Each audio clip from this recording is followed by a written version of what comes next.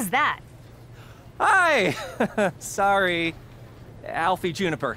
The flesh here. I know who you are, Alfie.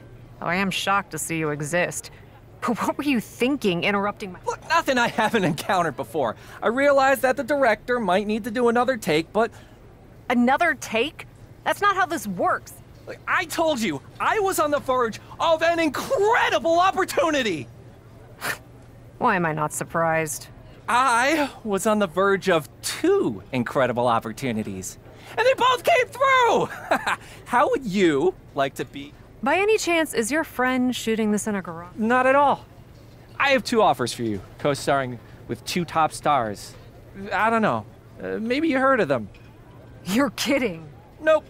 You're not. Like I said, I made some calls and used my connections. Trouble is, they both shoot at the same time. So I need your gut reaction.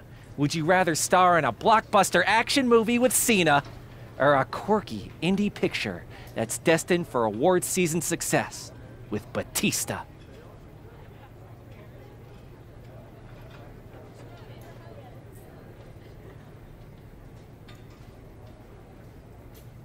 A chance to do a big budget film with John Cena? Ah! Then I won't either! I'll let the casting direct. Alfie, thank you. Honestly?